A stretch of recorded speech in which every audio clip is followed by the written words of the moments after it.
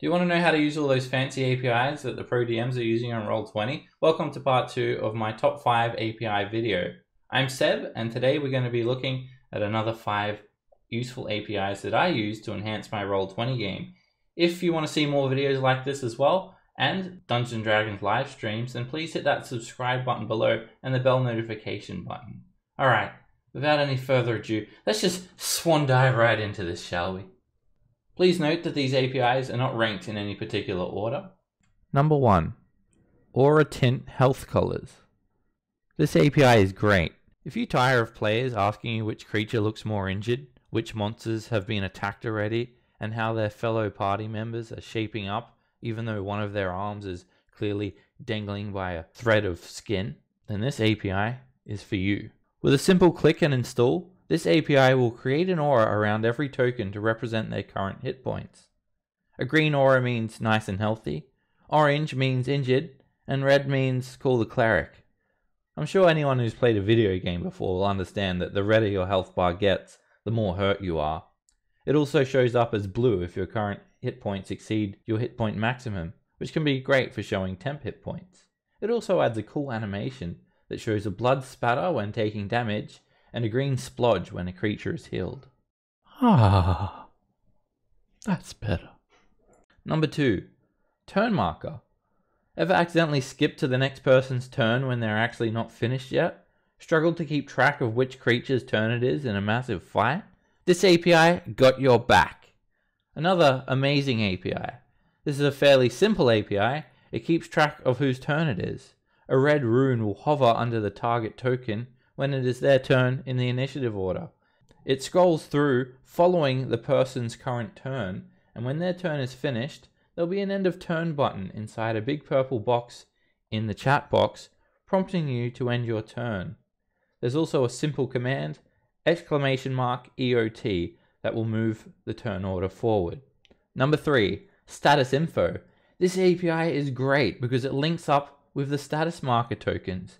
If you use these markers to keep track of current conditions, active spells and whatnot, then you can add a simple extra reference text box to accompany these status markers.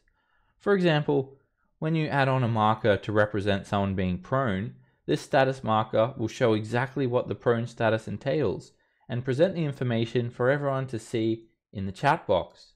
This may save a lot of time trying to reference a rulebook, and it is an amazing resource for new and experienced DMs and players alike. I highly recommend it. You can even customize the text and status markers to suit your own personal preferences and import your entire compendium between games. Let me know in the comments below if you have any questions about this API. Number 4. HD Tracker. If you want to be able to click your hit dice button and have it roll your hit dice, deduct your hit dice, and then add hit points to your character sheet automatically, then this is the API for you. Now, at the time of writing this, unfortunately, a recent update to Roll20 has made this API broken. However, I'm sure a fix will come soon, and this API is too good not to have in this list. It's as simple as that though. It fills up your hit points automatically when you roll your hit die, and this makes life easier for you and your players. Number 5. Chat Set Attribute. This is the API I promised you all in the last video, and behold, I have delivered! This API is going to make long rests a breeze if you are using the OGL Roll20 character sheet. Simply install this API and set up a one-click macro that will allow your players to take a long rest at the touch of a button. Now, this API can do all sorts of things with attributes, but personally, I just use it for long rests. This will require a specific macro to use, and I will have that also linked in the description below. And while you're there, why not drop a comment if you enjoyed this video and if you have any questions about anything at all. I'll be happy to answer any questions you have and would love to help you. Also, if you enjoyed this video, please hit the subscribe button. It will really help me out. I'm making two videos per week, one for players on Mondays and one for DMs on Wednesdays, so subscribing and hit that bell button will notify you when the videos go live. Thank you so much for watching this video. I hope you found it helpful. If you have any questions at all, please drop a comment below. I look forward to seeing you again. I'm Seb, and I'll see you soon.